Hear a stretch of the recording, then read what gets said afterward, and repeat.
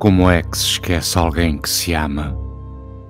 Como é que se esquece alguém que nos faz falta e que nos custa mais lembrar que viver?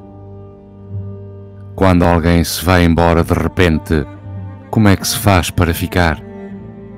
Quando alguém morre, quando alguém se separa, como é que se faz quando a pessoa de quem se precisa já lá não está? As pessoas têm de morrer, os amores de acabar.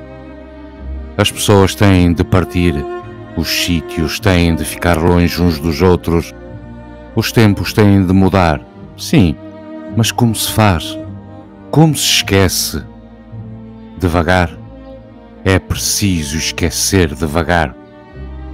Se uma pessoa tenta esquecer-se de repente, a outra pode ficar-lhe para sempre podem pôr-se processos e ações de despejo a quem se tem no coração, fazer os maiores escarcéus, entrar nas maiores peixeiradas, mas não se podem despejar de repente.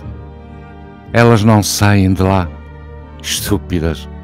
É preciso aguentar.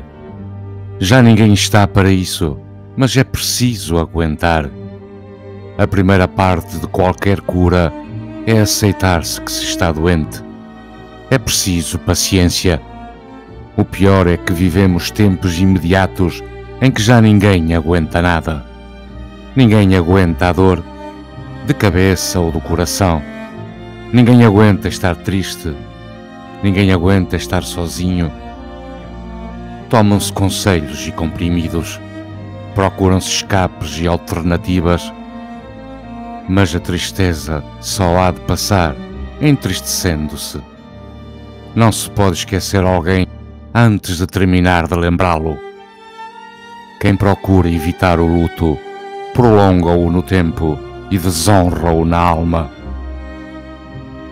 A saudade é uma dor que pode passar depois de devidamente doída, devidamente honrada. É uma dor que é preciso aceitar. Primeiro, aceitar. É preciso aceitar esta mágoa, esta moinha, que nos despedaça o coração e que nos mói mesmo e que nos dá cabo do juízo. É preciso aceitar o amor e a morte, a separação e a tristeza, a falta de lógica, a falta de justiça, a falta de solução. Quantos problemas do mundo seriam menos pesados se tivesse apenas o peso que têm em si, isto é, se nos livrássemos da carga que lhes damos, aceitando que não têm solução. Não adianta fugir com o rabo à seringa.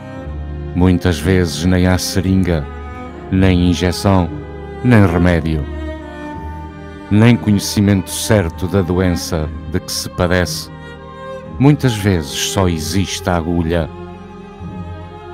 Dizem-nos para esquecer, para ocupar a cabeça, para trabalhar mais, para distrair a vista, para nos divertirmos mais.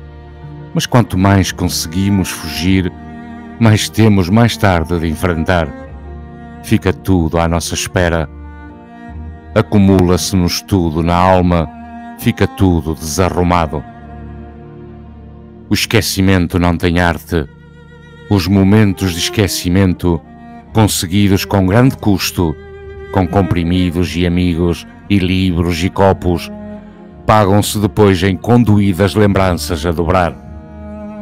Para esquecer, é preciso deixar correr o coração, de lembrança em lembrança, na esperança de ele se cansar.